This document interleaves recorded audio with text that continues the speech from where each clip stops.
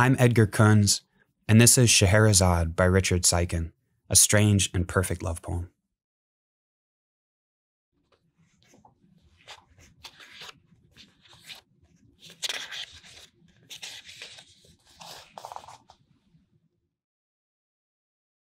Scheherazade.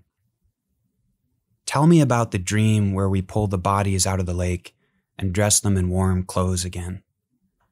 How it was late, and no one could sleep, the horses running until they forget that they are horses. It's not like a tree where the roots have to end somewhere.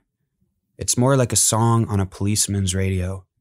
How we rolled up the carpet so we could dance, and the days were bright red, and every time we kissed, there was another apple to slice into pieces. Look at the light through the window pane. That means it's noon. That means we're inconsolable. Tell me how all this and love too will ruin us.